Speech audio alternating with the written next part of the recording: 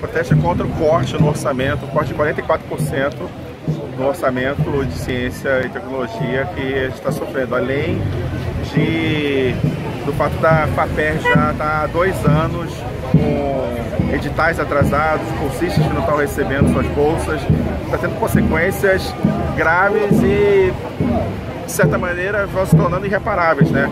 Laboratórios que fazem pesquisas fundamentais, como por exemplo o da Zika, que é uma coisa que interessa diretamente as pessoas, estão é, começando a ter que parar, não, não podem é, trabalhar. E a, as consequências é, para o futuro podem ser irreversíveis.